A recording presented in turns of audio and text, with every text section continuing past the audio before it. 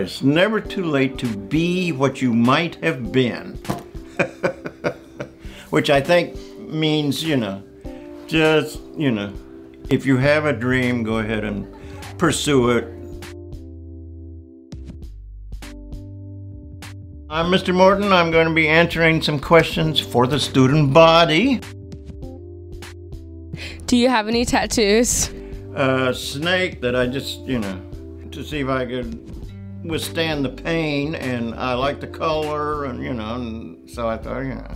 And I got one of my daughter, uh, my daughter died last year, so I got a, a rose in her birthday on her, you know, some statistics about her, so I take her with me wherever I go. Mr. Morton, what kind of kid were you in high school? Like, what kind of group were you in? I was one of those that uh, kind of um, didn't get picked very often to play, uh, you know, on the softball team, or you know, I was the last one picked to play on the softball team. I went out for basketball, and uh, I got I set up a pick, and I was running the pick towards the basket, and I the center tripped me and I was in tears. And the coach said, see, this kid really wants to play basketball. He's not so good, but he's he's got a lot of heart. He wants to play. What's wrong with the rest of you? So I was that kind of a kid, kind of a klutz.